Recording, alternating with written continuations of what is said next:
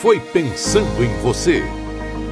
A gente participa há sete meses que o João Lucas participa da, da Criança Feliz. A gente é bem atendido, bem acionado aqui no bairro. Aí tem a tia Lisângela que vem, traz atividades todas as semanas pra gente fazer.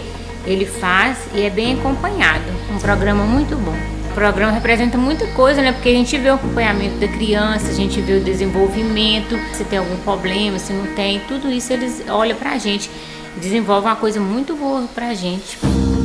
Foi pensando em você que o Dr. Marcos Vinícius fez.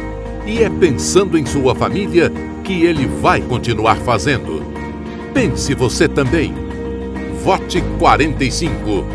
É bem melhor para Fabriciano.